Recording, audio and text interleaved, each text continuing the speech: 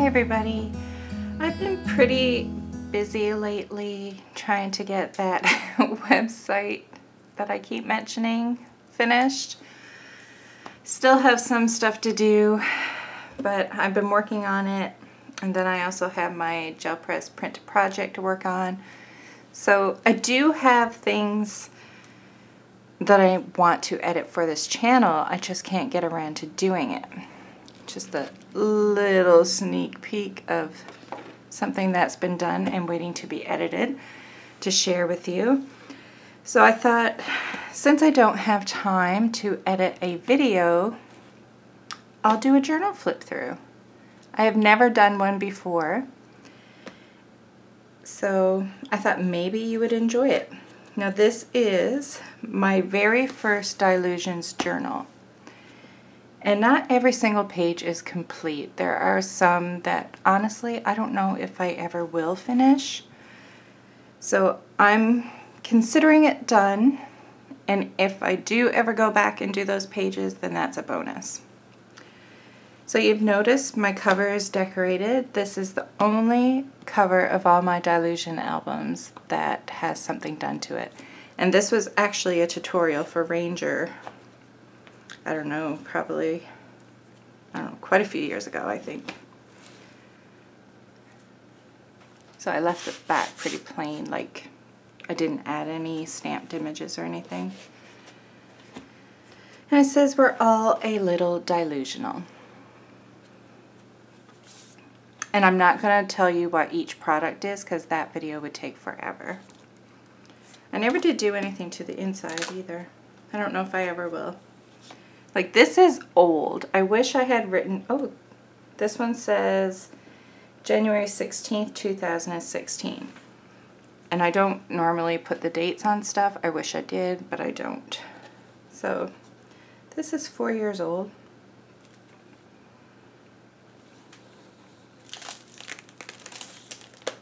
This was, I think, fairly close to first when I started art journaling.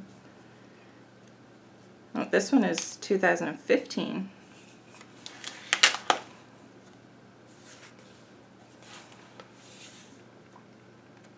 It's 2015.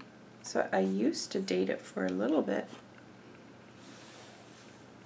Sometimes I miss, like, I wish I knew how to do some of this now. Like, I feel like I've lost some of my just easygoing know-how. Like there's, I think that's pretty like texture paste or um, modeling paste through Crafters Workshop stencils, dictionary paper.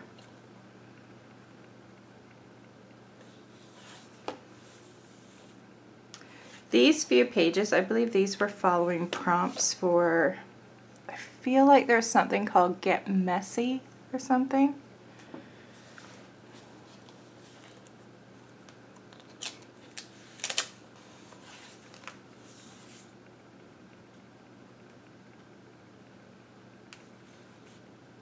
This is not my style anymore, but I still like it.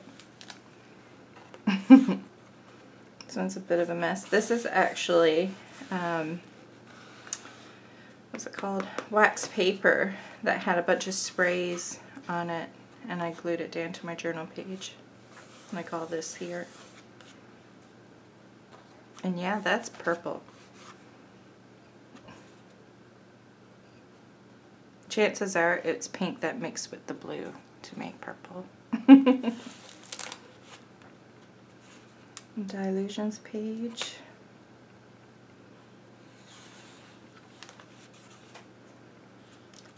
This one, for the longest time, it was just the black with the white sprayed on it, and I had nothing else done to it. And I wanted to keep it simple, so I just took a Jane Davenport girl from her sheets. She has a book, beautiful pattern papers that I haven't done anything with because I love the paper so much. I know that's sad. That's exactly why I didn't buy Dina Wakley's um, books with all her papers in it because I knew I wouldn't want to cut it up because they were all so beautiful. So I never did buy any. I like this one.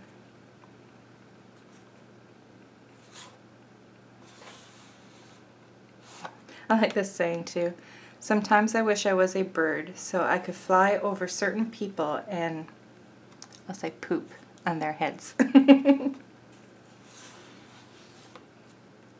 this is one that I never finished, but I don't know. For the longest time it was just like this and then I added that and I think I'm going to call it done.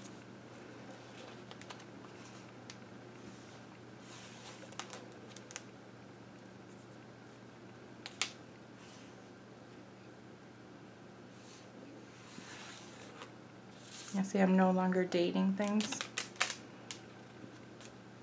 This, like, I feel like I love how this looks, but I feel like it's missing like a focal point, but who says it needs a focal point, right? Got some fringed paper.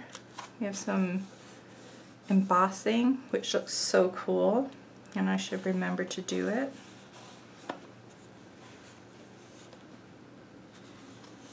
Like I look at some of this stuff, I'm like, how did I do that? That's cool. But it was before I did videos.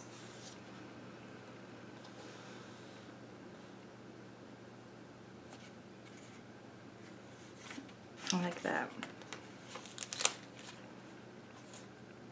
Purple. That's intentional purple. Wow. I like it. It's just something drawn by me.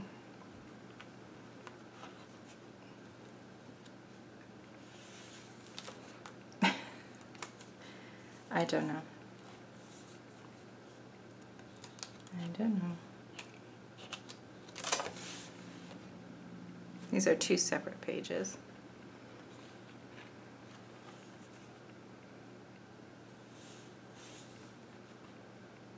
This isn't finished, but I don't know what I'm going to do with it or if I will do anything else with it. But it's definitely not finished. Maybe I could go in with a black border, like one of Dyan's, or like her ruler, trace the ruler, and then color the border in black and doodle in it. That would look pretty. Hmm. I just need to do a, a video for you guys to figure it out. this I'm calling done. I like this one too. This was another prompt one. I can remember it being something about um, having too much on your plate.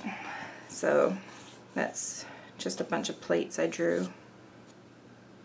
And it's got a lot. and then I just did some private journaling. And this was back in 2015. You can see my album is falling apart. Look, more purple. There's a lot of purple. So when did my distaste for purple begin? I thought I just kind of always didn't like it. Hmm.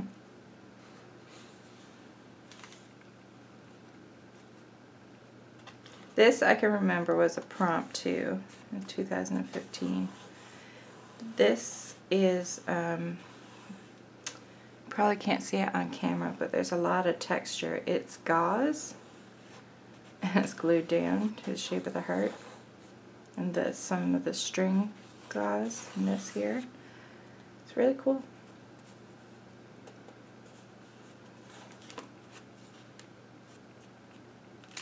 This is actually fabric. Stamped Dina's bird onto fabric and cut it out.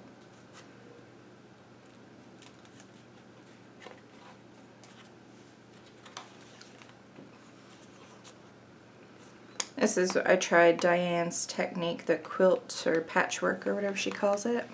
I'm not a fan. I like hers, but I don't like how mine turned out.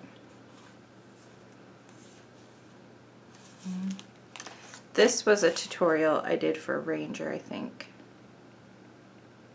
No. No, it wasn't. It's too complicated, I think. I don't think I did this for Ranger. I think I did this for myself. So I have these flaps and it unfolds like you know how you would take a box and overlap the flaps to close it I had an idea to do it for the journal pages so I'll have to show you bits at a time. I think this is pretty cool. I like it. So up top we have Tim Holtz the dog stickers. Do what you love. Know your know your own bone. Gnaw at it, bury it, unearth it, and gnaw it still. and then, this is really big. I'm to move over. The early bird catches the worm, but I have never been one for worms. I am not sure what the late bird catches, but I will feast with him today. Probably porridge. I just love those weird quotes. Never give up, for you never know when something amazing is waiting right around the corner. Show you the bottom. If you liked it, then you should have put a bird on it. Um, when you're, oh, this is a sweet one. When you're a kid, you color with reckless abandon. You color outside the lines. You color however you feel. Oh, you color however you feel. Blue elephants, purple trees, red bears, green oceans. It's all good. As you get older, though, everyone tells you to stay inside the lines, to color everything just like you see it. You end up painting by numbers. Whether you actually paint, or whether you write, or sing, or dance, or get or oh, or act or direct. I think you should create what you feel. Create outside the lines. I want to watch green oceans and red bears. I'd love to listen to purple trees, and I long to read blue elephants. I should have wrote down who wrote it, but I didn't. So then I close it up and to let me know which flaps that I did, I put little arrows on the ones that should be outside. So not actually hard to fold up. I really like it.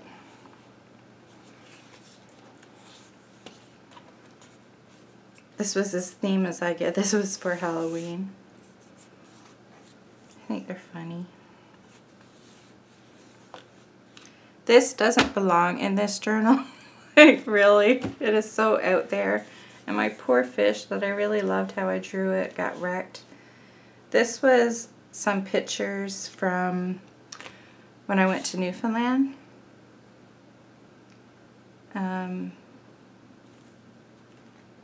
and it's just talking about, I'll read it. Whenever we travel, it's always to Newfoundland. One day we would like to go somewhere else but we do miss our family and want to see them as much as we can. So off to Newfoundland we go. It is a beautiful province with lots to see. We've seen more of Newfoundland since we moved out of the province than we ever did when we lived there. Beautiful place that you take for granted when you live there. Love it, and in my heart it will always be home, but I don't know if I could live there again or not. I'm sure I could grow accustomed to it again if I had to, but right now I feel more like a tourist when I go there, which is okay because I appreciate it more. And these are actually from photos that I took while I was in Newfoundland, and then I sketched them in my journal. Which, if I had time, I wouldn't mind having a journal that's dedicated to this style. So that's the thing, I like so many different things that I don't get to do everything I enjoy. Hmm. my quirky face. And this didn't start back in 2015 or anything. Like, I don't work like page to page to page. Like, I go all throughout the album.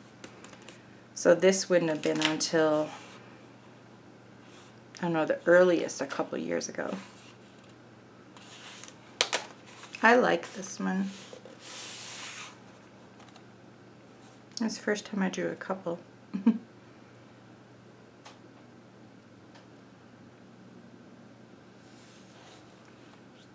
These are two separate pages. I love this. It took a lot of time, but I love it. It's like modeling paste through a stencil and then going in with watercolor. Love that. This was a Ranger tutorial.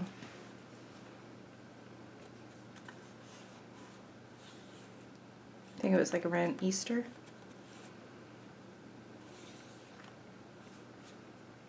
I remember because I drew the bunny and I provided it as a free template, a free download on the Ranger website.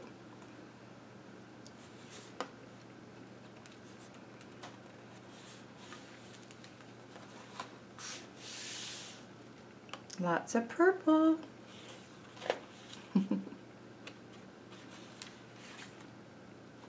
It's a whole lot of purple.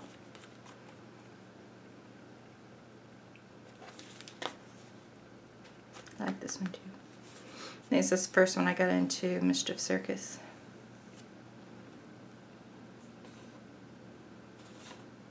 He looks angry.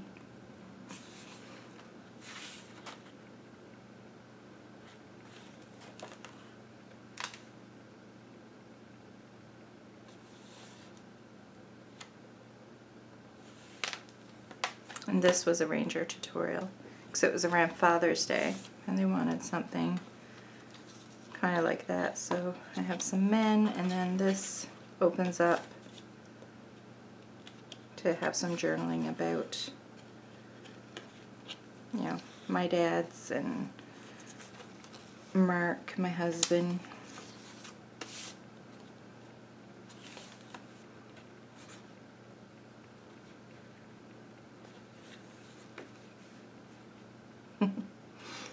this was there was a stencil by Crafters Workshop with flamingos. I mean, sometimes there's stencils that I know I'm never going to use. And I want to challenge myself to use the flamingos. And I actually like them there. It says, why fit in when you were born to stand out? And then this is supposed to be some weird kind of bird. this one is old. I know it's in the back of the book, but it is old. That's probably around 2015. That's more Jane Davenport.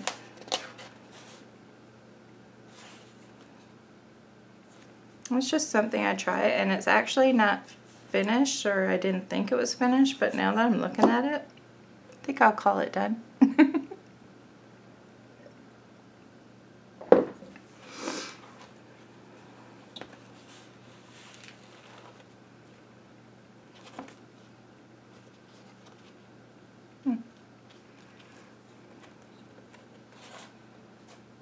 that was just experimenting. Not a fan of that. Not at all. Handle every situation like a dog. If you can't eat it or play with it, just pee on it and walk away.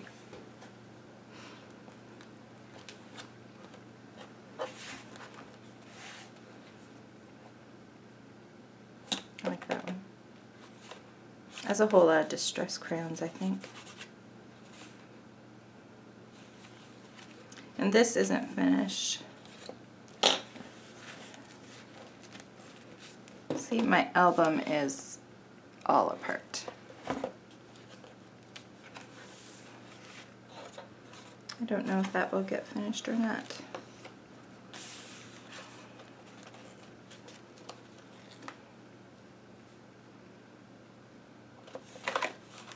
And this isn't finished did this ages ago. Stamp some images for a possibility to go in there. This has such cool texture because it was like extra paint and I brayered it on. It just creates this beautiful texture. Oh, I did glue it down after. That was canvas paper and that's another Crafters Workshop stencil, but it was all colors, and then I just went in with a stencil. And I actually liked it, so I just glued it onto the page. I should probably add a quote or something here.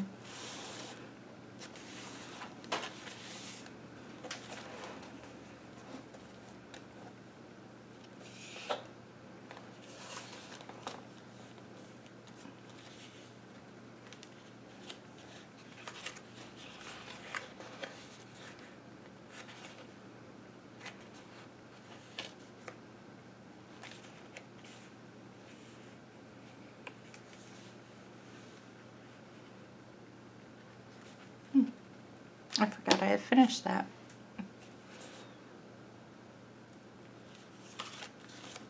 And that's the last page. It's just a bunch of doodles. So they get pretty thick and falling apart. Like that is like out from everything. It doesn't want to stay in the book anymore. So that is my first ever, actually I don't know if it's my very first ever journal. Just hold on.